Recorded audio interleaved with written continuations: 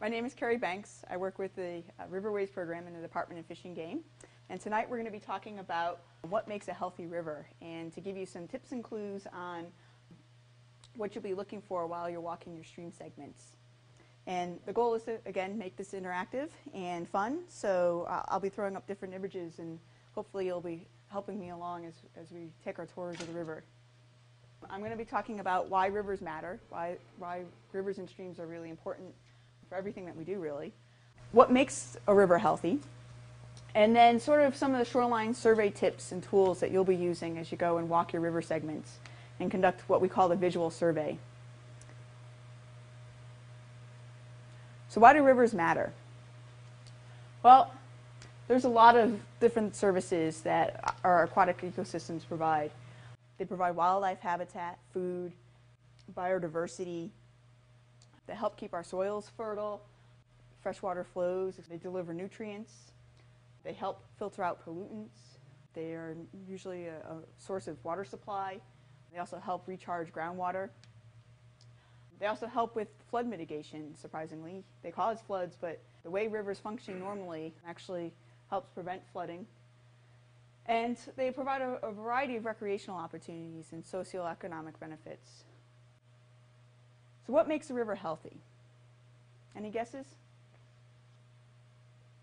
What do you think makes a river healthy? Clean water. Clean water? Yep. Yep. Yep. And aquatic life. Aquatic life? Yep. Well, there's actually a whole bunch of things that we'll be talking about. I think one of the most important things is that in order to have a healthy river, you need to have water flowing. And some of our river scientists will talk about what we call the flow regime. And I'll talk a little bit more about that, but that's basically the seasonal and yearly variations in flow that you see. Having clean water, water quality, having habitat. We, we like to talk about habitat complexity we, and keeping it messy. You probably have heard from your mom when uh, she looks at your bedroom sometimes and you know she sees a big mess piling up. She may say something like, "You know how many critters could be living in there?" Well, that's why we like messy habitat. Mm-hmm. Having connected ecosystems, having the ability for fish, wildlife, water, sediment, nutrients being able to flow through the system. The importance of riparian buffers and trees along the stream. We also talk about the, the ability of the river to move sediment and water and other materials through the system and sort of that dynamic stability that the river seeks. And I'll, I'll have a couple slides that demonstrate that. And I think another thing that's important that we often forget is how is the community interacting with the river? Some of you may remember back before the Clean Water Act was passed in the 1970s, a lot of communities turned their back towards the river. It's where the sewage was dumped, it's where the industrial discharges occurred. But nowadays, a lot of fo folks and a lot of communities are trying to revitalize the rivers. And I think that's really important to have local river stewards like you. We have over 10,000 miles of rivers and streams here in Massachusetts, and there's no way that we'd be able to assess them all by ourselves. So having folks out there and, helping us sort of catalog and see what's going on is important. So what is a watershed? I kind of think of it like a big bathtub. If you turn on the shower, the ridge of the bathtub, or in this case, the ridge of the mountains, define where the water is flowing, and usually down to a single point like the river, or sometimes a lake or, or a pond. In Massachusetts, we have over 27 major watersheds. And within each of the watersheds, we also have what we refer to as subwatersheds. So as I mentioned before, the most important thing to have in your river is water. And I also mentioned this thing, this terminology, the flow regime. In the flow regime, we're thinking about a couple different things that are occurring. We're, we're trying to figure out what time of year the flows are happening. So typically this time of year in the spring, we'll have the higher flows. This is actually a time of year that salmon and other migratory fish are triggered to begin moving to their spawning grounds by the higher flows. During the summer months, the river flows will drop, and that will trigger other uh, critters and other fish to start seeking refuge in the colder waters.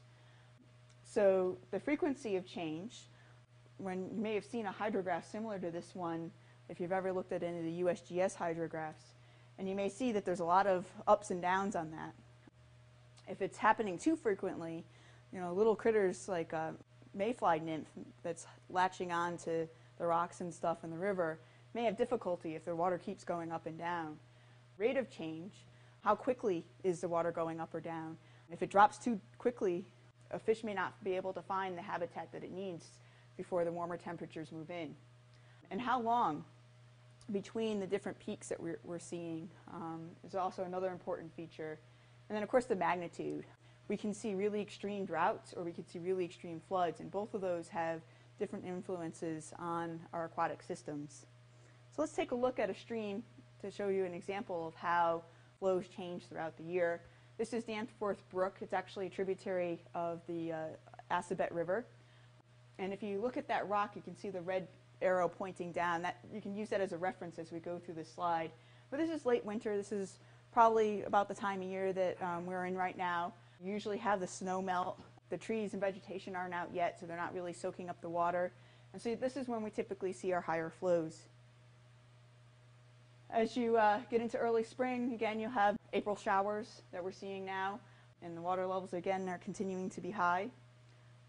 And then in the summer, when the vegetation is completely out, you begin to see that the water levels will begin to drop. We have longer periods of dry periods, and water levels begin to, to go down.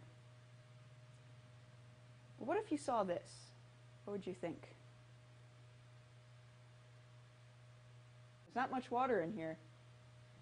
One of the first things that disappears as the water levels drop are what we call riffle habitat. And riffles are where the water gets oxygenated. It's usually, if you're looking at a stream, it's the little area where you see a lot of the bumps and the waves. That's where a lot of the oxygen is introduced to the river. And so, because it's the shallowest part of the river, that usually disappears first. And you get these isolated pockets of water. And what happens is, is that fish and other critters that get stuck in those isolated pockets, they're very vulnerable to predators, so they have no place to go if somebody shows up and is hungry and wants dinner. The temperatures can rise very quickly in those, those small isolated pockets. And of course, because it's not getting, the water's not getting reoxygenated, the oxygen can be used up very quickly. What does our typical water budget in an area um, consist of? And in an area like the Westfield, where we have a lot of area that's pretty well vegetated up in the upper portions, um, a lot of forested area, um, this is typically the annual, annual water budget that we may see in the watershed, where you have about 37% of the water being used in evaporation and transpiration, which is the trees and vegetation sort of soaking it up and breathing it out. You may have a little bit of surface flow, surface runoff. It's not, not very big, even less than a 1% of the water budget. We may have just some subsurface flow, which actually helps feed our rivers and streams, about 25%. And then the rest of the, or the rest of the water actually gets soaked up into the ground. And there you can see this is about 36%. So I'm going to switch over to a slide that talks about a watershed area that's more developed, more urban, maybe down as you're getting down towards the Westfield area. And what I want you to take a look at is the number that changes with the groundwater and the number that changes with the surface runoff. So again, this is our urbanized land cover. What do you see happen? It's a lot more surface runoff. So the, the previous one was just less than uh, uh, 1% or 0.3%, and now this is over 30%. And the groundwater recharge is dramatically lower.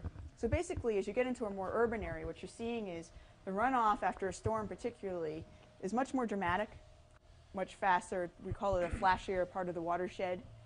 And what happens is that water just surges off. Less water is um, infiltrated into the ground for groundwater storage. And some of the issues that arise from this is that summer months, as the water levels are normally dropping in our streams, often what's feeding our streams is the groundwater. And sort of that balance begins to, to fall down when you get more urban. So what can cause some unnatural flows in your, in your stream? Lawn irrigation. We have a picture of one of our stream team members standing in a stream river or dry riverbed and he tells us in his report that he turns around and he could see everybody with their water sprinklers on watering their yard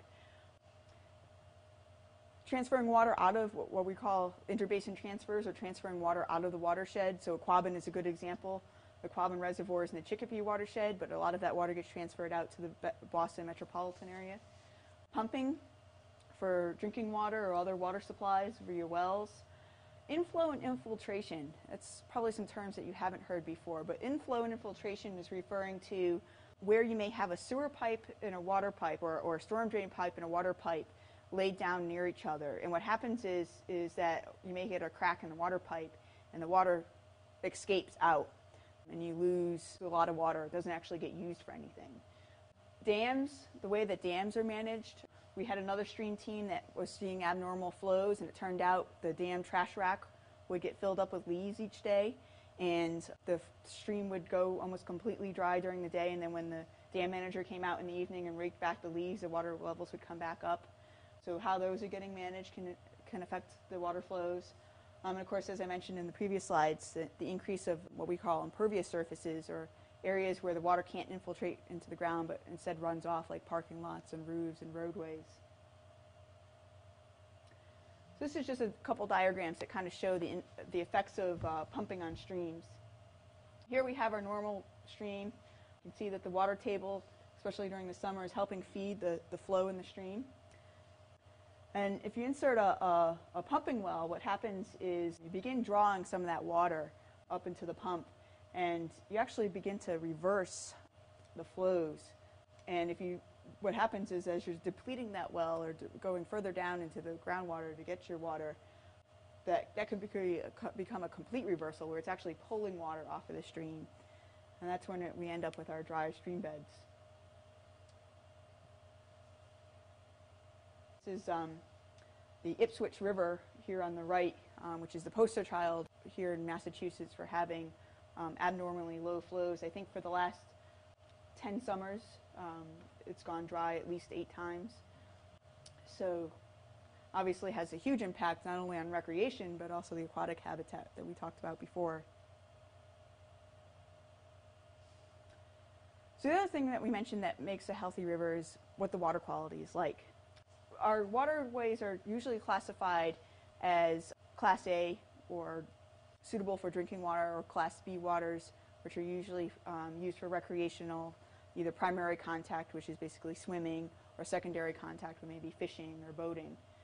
When we go out and we try to figure out whether they're meeting those class, class A or Class B standards, there's a variety of things that we take a look at. And some of them can get uh, much more scientific than others. And I know that a lot of my stream teams, when we first talk about going out and doing surveys, they get very nervous. Like, am I going to have to go out there with all these meters and give you know, gadgets and things. And this is really meant to be a visual survey. So certain things you may not be able to figure out when you're out on walking your stream. You may not be able to take the pH. You know, you won't be able to do a fecal coliform count. But you can look for things like this, where there's a pipe discharging. This is pretty obvious that there's a water quality problem or a water quality issue here. You may, depending on what time of year, be willing to stick your hand into the river. Temperature is another issue that you can, that you can be thinking about. So there's a variety of things, sort of the, some of the in-stream conditions that you could be taking a look at. And this is probably, as I mentioned before, before the passage of the Clean Water Act, you may have remembered a lot of the communities kind of looking like this. This is below one of the factories where they had um, one of the dyeing for the paper factories. And so depending on what type of dye they were using that day, the, the rivers would run different colors, reds, oranges, browns. And when the Clean Water Act was passed in 1972. A lot of these point sources were cleaned up, and there's the Nashua River today, pretty crystal clear and in pretty good shape. Still has some issues. The other thing that happened with the Clean Water Act was that a lot of our um, sewage discharges were also corrected, and our wastewater infrastructure was put into place, such as the wastewater treatment plant down there on the right. But today we're actually talking a lot about what we call non-point source pollution. And this is actually a couple uh, posters from uh, education campaign out in Washington State that kind of talks about some sources of uh, non-point source pollution, such as dog waste or pet waste, the chemicals and stuff that we use when we wash our cars or change the oils in our cars. Can you think of any other types of non-point source pollution? Fertilizers, pesticides. Uh, this is where we, get, where we get to talk again about our messy bedrooms. You probably see here in the picture, uh, so, some people may react to this slide as, wow, that's, that's a lot of little chaos. But if you think about it, if you think about it from a critter's perspective, There's a lot of great little hiding places here. There's, there's vegetation that'll drop down into the stream and help feed the bugs, then feed the fish, provide shade cover, um, helps keeps the temperatures down. Kind of gives, you know, even the, the uh, with the wood and the sediment and stuff, as the water's carving out different niches that the fish can find and the aquatic bugs can find. So having a messy habitat is, is a good thing. But what if you were a fish? What would you think of when you saw this?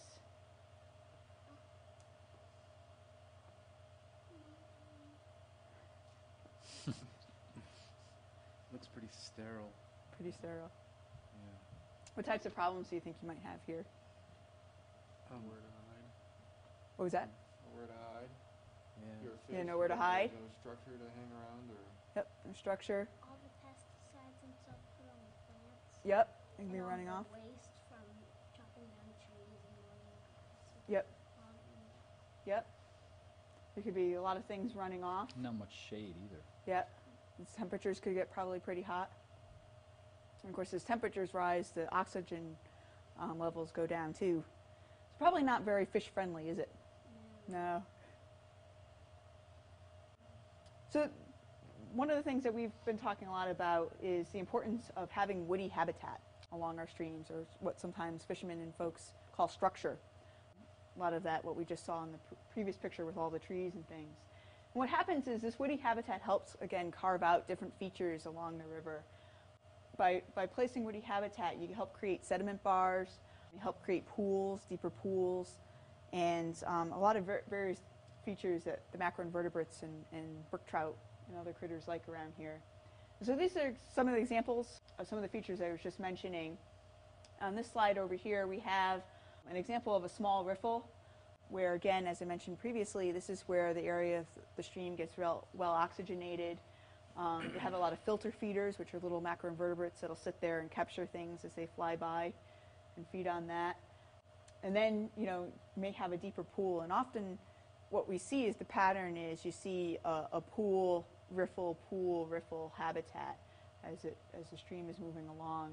And then in the steeper parts of the watershed, which we do have out, out in this region, I think this is actually a slide from Windsor Jambs Brook, may actually get a step pool formation. So then you have a deeper pool, and then you have a drop, and then you have a pool, and then a drop. So you may even see that type of formation in the steeper parts of the watershed. Another reason why it's good to have, as we mentioned before, is having some of that woody habitat is it gives uh, fish and other critters protection from predators. Uh, does anybody know what type of bird that is up on the right there? May have seen some around here. It's a merganser. And they're, they've been notorious in some parts of Massachusetts for really picking on the uh, trout populations. They're very avid breeders and, and eaters.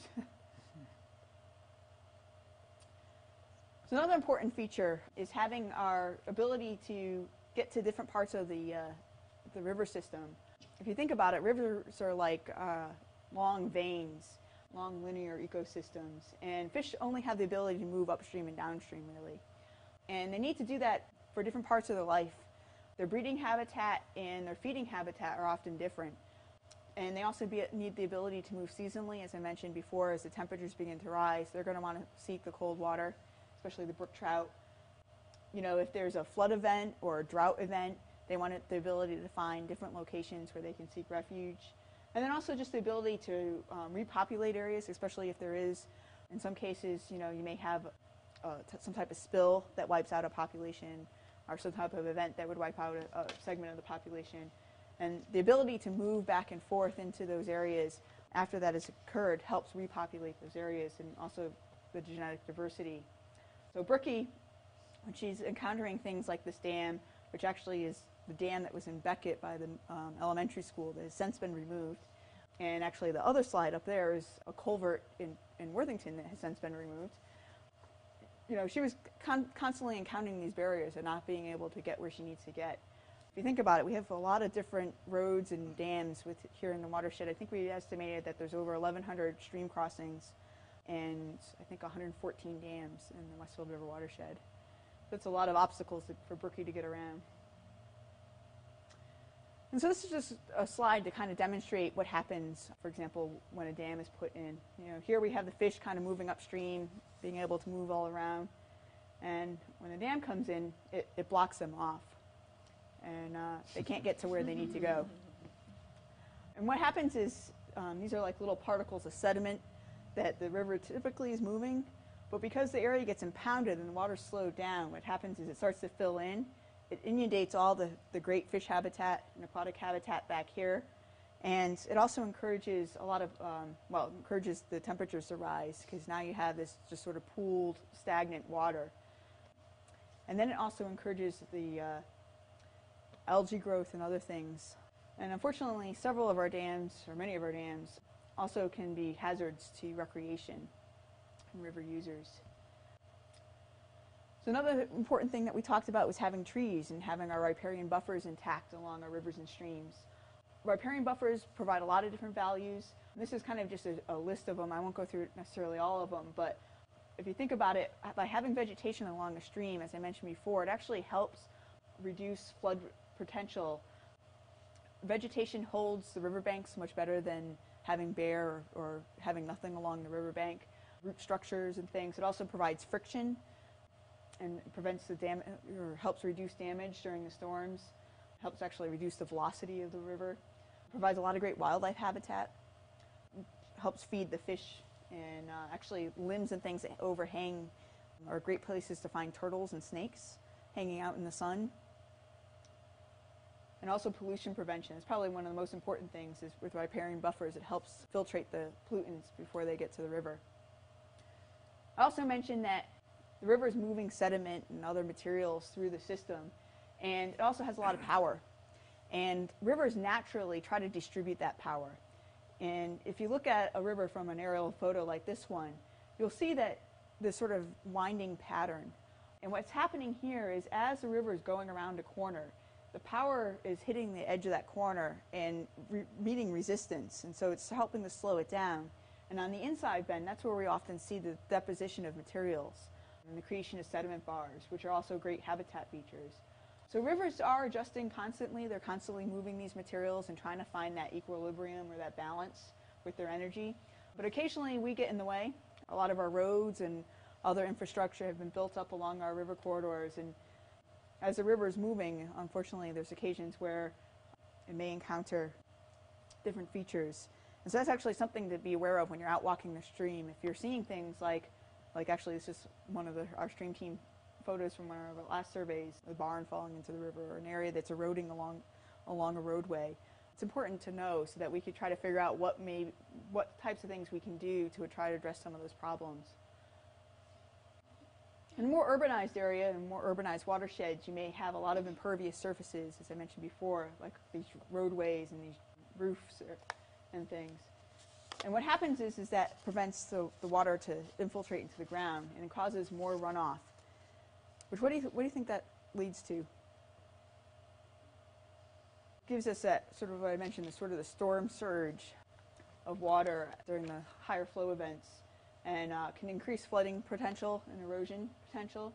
And also has the opposite effect because it's, because it's sending that water off so quickly, it's not allowing it to infiltrate into the ground. So it's also de- decreasing our groundwater supply. Another thing that makes a healthy river is how our communities are interacting. Things to be aware of when you're walking the stream. You know, what type of recre- recreation opportunities you're seeing.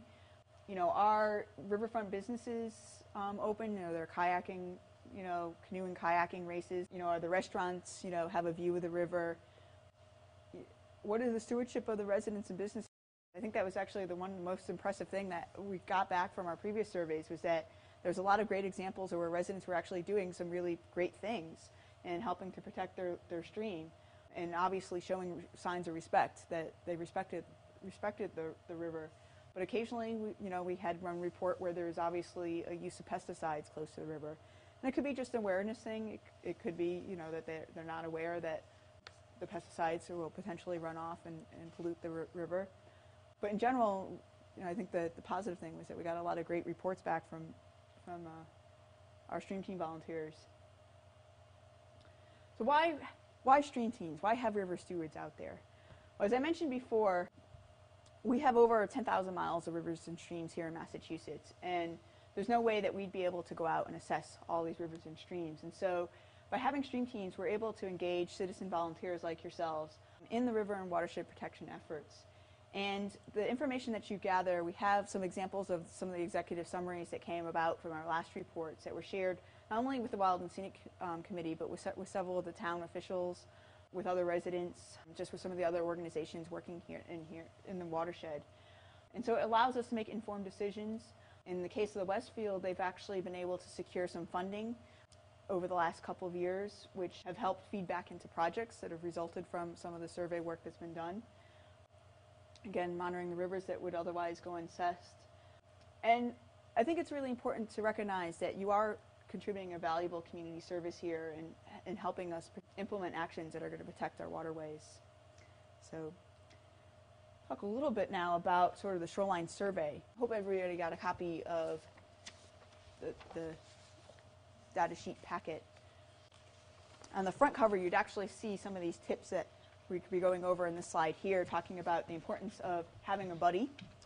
Sort of the safety is, is uh, it's always better to go out with somebody when you're walking your river segment. Other, another thing, especially this time of year, is to be aware of the water levels. We do not recommend going out after long periods of rain. And, you know, just be aware that this time of year, particularly, we could have uh, rain that can, that can make the river swell up pretty quickly and the rapids um, pretty intense. So just be aware of that. Wearing proper footwear and clothing, we recommend always wearing, even if you're going to be surveying in the summer, wearing long sleeves, particularly because of poison ivy and ticks. And also some, sometimes snag-free clothing. I know fishermen and stuff have a lot of that there are some briars and things along the way. Consider landowner rights, and we do encourage you to ask permission to cross private lands. Most of our segments we've tried to set up so that they begin and end at uh, a crossing or begin and end at public lands, but some of them will be going by private property. We've contacted landowners in the past and have let them know that we will be sending volunteers out there on occasion. We've had a few that have called us back with concerns or have asked us not to have volunteers on the property. We've either eliminated those sections off our off our uh, segments or we've made notes on what you know how they would like to be informed. But if you do see an area that is posted, we do recommend either seeking permission or making a note on your map, and we will go and seek permission from them. But do not, you know, if you ever feel unsure or unsafe, just pull yourself out of the situation. It's more important that for your safety, again, never put yourself in danger um, to gather the survey information. We can always go back and we can always um, work with the landowner, or if there's, you know, if there's an area that is inaccessible, maybe too steep, or um, maybe you could just feel like you can't get the good footing that you need to walk that section. Just make a note of it, and we'll we'll have somebody either go back and check it out later, or find another way to survey that segment. Respect the wildlife and other critters. There's a list here, actually, a checklist on things that you can bring along. Important thing is a copy of the data sheets. We'll be giving you maps of your sections, both a what we call a USGS topo and then a photograph or aerial photo of your segment. And never drink the river water. There's a variety of reasons. Not to say that the river water here in the Westfield is not clean, but there's a, variety of bacteria that are just naturally occurring that can make you sick. So never drink the water, but always bring some water with you so that you can take a drink as you're getting thirsty as you're walking your segment. And this is an example of one of the maps that you might get. This is really meant for you to draw on. Uh, we have a couple color, different, different color pencils if you wanted to grab, but you can really mark it up whatever way you want. You might use, you know, a symbol like this to indicate where the brooks and streams are coming into the into the river. And you know, here you can see on these you, these lines here indicate where the stream is, but you may find another uh, intermittent stream or something coming in. Might mark the location of where pipes are discharging into the river, and uh, maybe where you're taking photographs and what direction you're taking the photographs in. So this, these are really meant for you to mark up, and I guess the only thing that we encourage you to do is give us the key to your symbols, because we do sometimes get things back and we're scratching our heads on what they mean. The other thing to keep in mind too is when you're surveying, another important thing is you're making notes on your data sheets. What we like you to do is always refer to river right as being river right and river left being river left. And what that means is you're always looking at the river as if you're walking downstream or looking downstream. And that way, when we start reading through the data sheets, um, we get a pretty good understanding of which bank you're talking about. So even if I'm, this is the upstream, and I'm looking upstream, that will always be my river right. and then this will always be my river left. It's a bit confusing, but if you can get that in your head as you're taking your notes, it helps us out a lot. Especially, um, I had one segment last year that came back and he kept referring to the northeast, southwest, north bank, and of course the river segment's going like this. So I'm always trying to figure out which bank he was talking about. So the types of things to take note of, if you flip open to your data sheets, you'll see that we're starting to talk about some of these things. And one of the first things that we have you take a look at is what are the in-stream conditions like? What does the substrate look like? The clarity of the water? Maybe look at the temperature. What are the water levels like? Uh, any signs of different things or features for aquatic habitat? Any potential uh, pollutant sources? And just generally what the hydrology is like. So in this slide here, what do you think the substrate right where his hand is? Well, how would you, what would you use to describe that? Yeah, sand, silty, mud. Again, as you go further out, you may see cobbles. Cobbles are generally something that you can pick up. Boulders are usually things, things that you don't want to touch, to, a little too big to, to carry around. Gravels are usually, you know, just a few inches um, wide, and then you get down to, to sort of the silts and muds. In this slide here, what do you see, or what would you take note of? Yep, a lot of turbidity. This is where you get to be a stream detective, and uh, you get to maybe walk up the stream a little bit, um, see what's going on. In this case, this is on Depot Brook in Washington, and it was shortly after a thunderstorm, and the volunteer walked upstream and found this little drainage ditch that came off the road, came down another road. You know, he, he zigzagged up for quite a ways, and he found um, this driveway that had recently been constructed, and the runoff was coming down the driveway and following the drainage ditch down down to the stream. Um, luckily, in this case, he knew the, the owner who had just put in the driveway, and he gave him a call, and they went out and they put some silt fencing up. And in that case, they, they weren't anywhere near the river. They were beyond what they call the permitting zone, or the area that you often have to seek permits for. Um, but it was still impacting the river. Why do you think it would be a problem to have a lot of sediment like this in, in a stream like this? Yep. What can happen is it can cover fish up, can cover the fish eggs up, the macroinvertebrates. What do you think you see here? It's actually a, a petroleum product, uh, oil in this case, or maybe this is gasoline. Usually, a petroleum product, when you when you see it on the surface of the water, you'll see sort of this rainbow sheen color. Um, sort of got a rainbow color going off that way. In this case, it was uh, um, an accident where I believe it was gasoline that was spilled. If you came across this, do you think you need to react right away? Typically, yes. There's one thing in this picture that may be a clue that somebody's already been out. You can see what they call as a boom up above, which has been put out to contain the spill and also try to absorb some of the material. But if you did come across an oil spill, a gasoline spill, or you saw an accident happen, usually the first call to make is to the fire department. They're usually able to respond pretty quickly. We've also, our volunteers have gone out after spills to kind of assess habitat and see what impacts it's had. What do you think you see here? Hmm. yeah, something even worse. A lot of pollution. Yeah. This is um, an industrial discharge. And if I told you that it had a high biological oxygen demand, which means that basically the substance ate up all the oxygen in the water column, how would you know I'm telling you the truth? Or might be telling you the truth? Doesn't look, Thick. Because it's thick? nothing's living in here. Yep. All these little silver things are fish. This, this, this charge resulted in a fish kill. So this is definitely something you would take note of. Um, you may note, notice that the boom has already been deployed, so obviously it's been reported. You might notice, like, if you did come across this or you knew of a spill that had happened and you're going back and checking it again, you might notice that some of the material is actually escaping from the boom, and in that case, it needs to be to be reported that, that it's not functioning properly. The other thing to, to take note of is you may come across a fish kill. Occasionally, um, natural periods where, um, like especially in lakes and ponds, where there's a turnover, and the, in the seasons where it results in a fish kill, it's sort of a natural occurring. But if you were coming along and finding uh, groups of dead fish along the Westfield, I'd be a bit concerned, and that would be something I would take note of. What's very helpful is if you know the species of fish and the numbers, because that's one of the two questions that you're going to be immediately asked. There's a fish kill hotline actually that you would call, and that's what they're going to want to know is do you know what types of species and how many? Because that helps gauge, you know, is this a really serious thing or is this something that may be naturally occurring? And also figures out who they need to be sending out. And if I didn't know, I could take a photograph or something? Yep, you can take a photograph and uh, you know just take some notes. I, I think the other thing is too noting locations is important so that you know if you're going to call somebody up on a phone that may be coming out of Springfield, you know it's helpful to give them good directions. what do you think we'd have here? Soap suds, basically. This is uh, a stream downstream of a wastewater treatment plant. What happened here was that the wastewater treatment plant got inundated and wasn't able to handle all the soap suds and the phosphates that um, were coming in.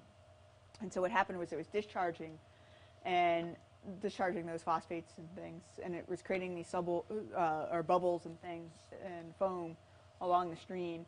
Luckily, uh, this slide was taken before the um, a lot of the phosphates were banned and a lot of the detergents and things that we have here in Massachusetts. Unfortunately, though, uh, there's still a lot of substances that do go into a wastewater treatment plant that need to be treated before being discharged back into the stream.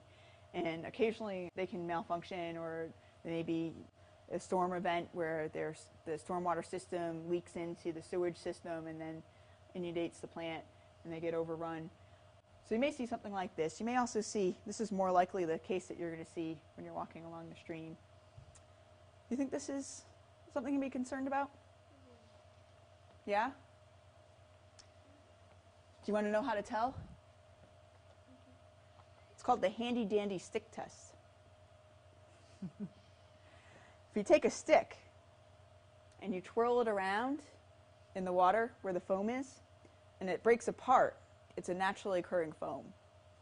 But if you did that, and if you imagine you had a tub of uh, soap, you know, in a, in a kitchen sink or something, and you were playing with the soap with like with a wooden spoon, probably all the bubbles would come back together. And those are usually something that's unnaturally occurring or something that's been discharged into the system. Another way to tell is in this slide, you could probably see that there's sort of a yellowish, brownish tint to the foam. That's the organic matter that's been stirred up. You often find this type of foam right below a waterfall or a rapid, where the, there's a lot of um, the water's getting oxygenated. So there is a naturally occurring foam. I should have probably mentioned when we talked about the oil, you may actually find little pockets of that rainbow sheen coloring along the river. And you may wonder, you know, is this, is this something I should be concerned about? Again, you can use the stick test. If you stir the stick around and it breaks apart, it's probably something that's naturally occurring. If it comes back together, there's compounds in sort of petroleum products and stuff that kind of bind the substance together, so it would come back together. The other thing to take note of is look around, look over, see what types of land uses are occurring. Are you in the really well wooded area, or are you near a gas station?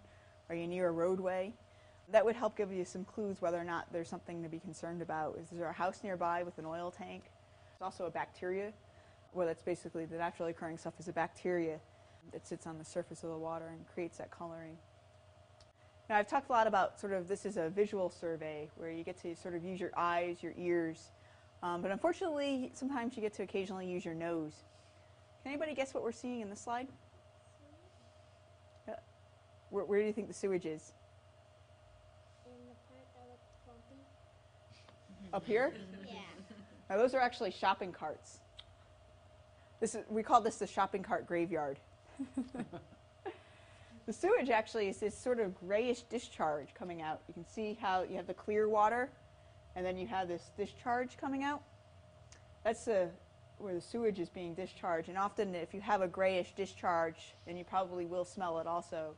That's a pretty good indication that, that it's sewage. And if you followed it up, if you went up in the little crack there, you would find a, a stormwater pipe. And what happened was the sewage pipe had burst and was um, draining out into the stormwater system and then directly to the river in this case. What do you think about here? What types of things would you take note of? The cow poop in the stream. What about the soils here? Yeah, the, with the cows accessing the stream, going back and forth, they're eroding the soils, which then are going to wash off into the stream. And what about just the vegetation around there? Probably, probably be better if there was some shade cover. A pretty open area where the temperatures are probably heating up. And you can see, obviously, because of the lack of the larger shrubs and trees and things, that the farmer's been dealing with some erosion because you see that he's placed some of the stone or riprap along the edge of the riverbank. And there's actually programs out there. We've had a couple of my stream teams work. In one case, there was a farmer. He just he was an older gentleman and just didn't have the time to go out and repair fences. So he had cows that were constantly like breaking out and then getting into the stream. And so the Boy Scout troop got together and worked with him one weekend to, to repair all the fencing. And so there's sometimes some simple solutions. There's also programs out there to help establish alternative water sources and reestablish some of the buffers along the stream and for, uh, in agricultural areas. What do you think we're looking at here?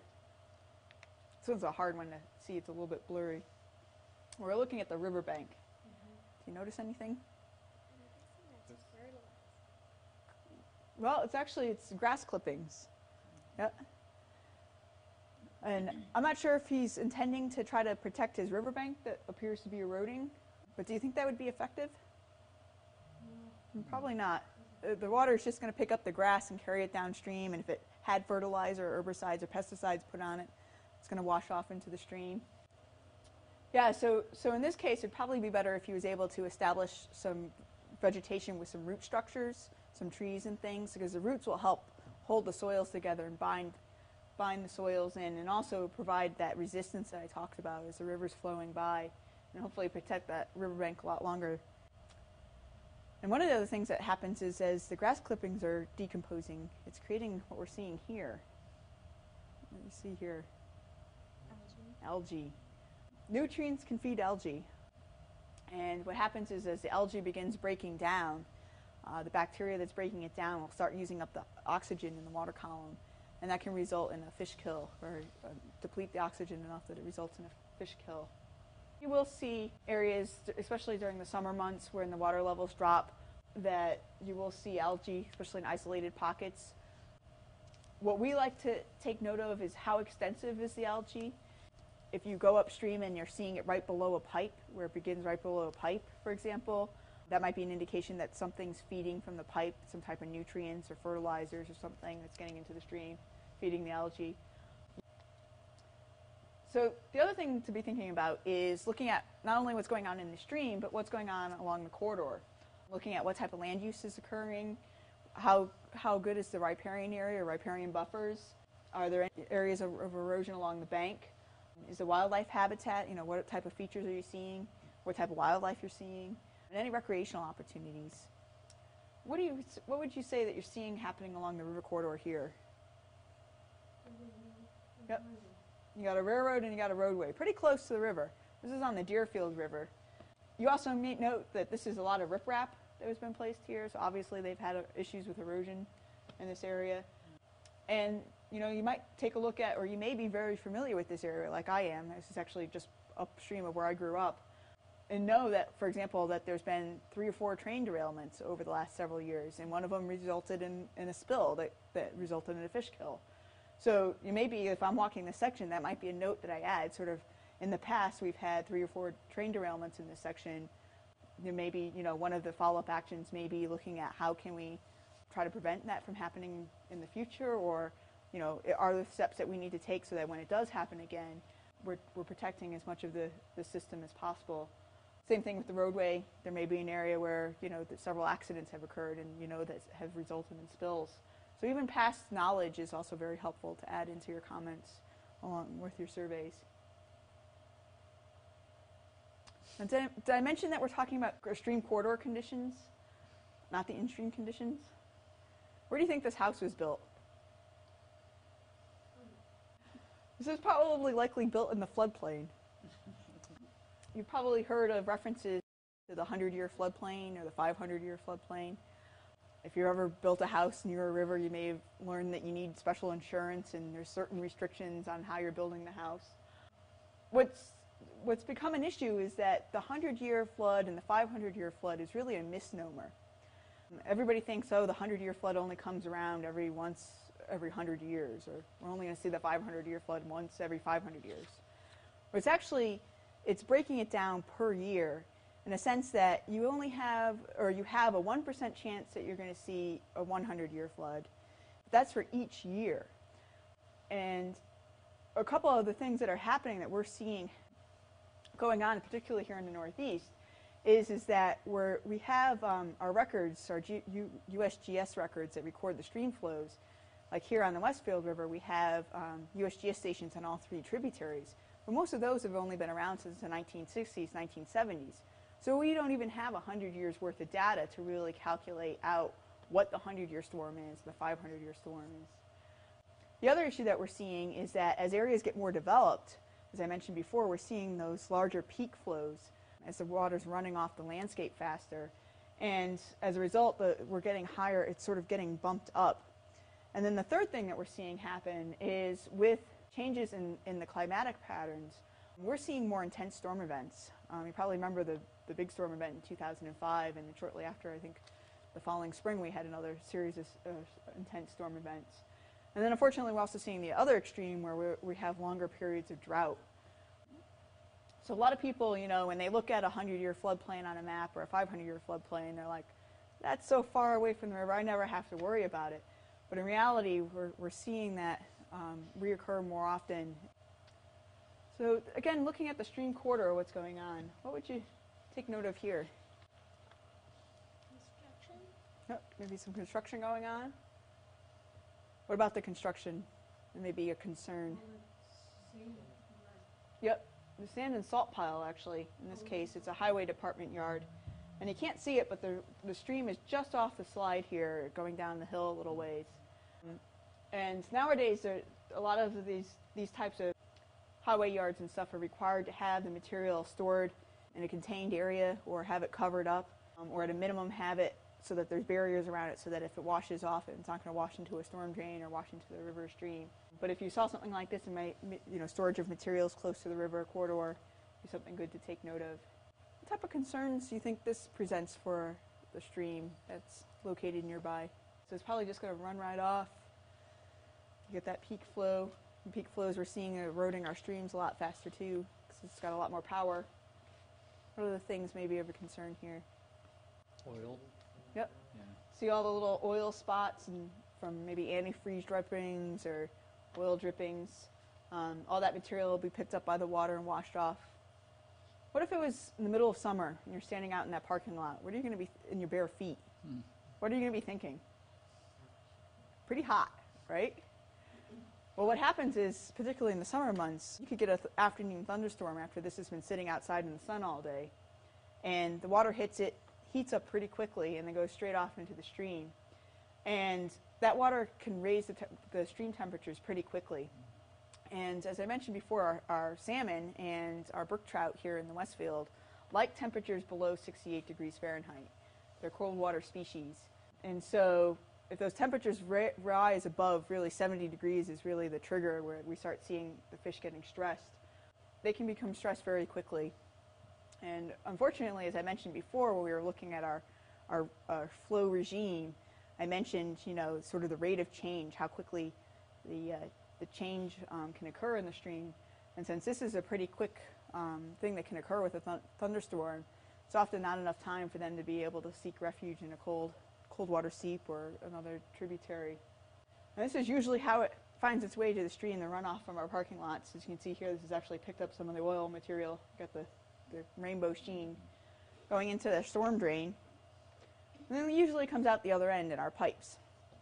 Most of our storm drains nowadays are, are directed to the local river or stream or other water body. You know, I've, we mentioned pet waste as being a concern of non-point source pollution. And so obviously encouraging people to pick up their pet waste is important. You shouldn't be leaving it out where it's going to run off into a river or stream or down the street into the storm drain.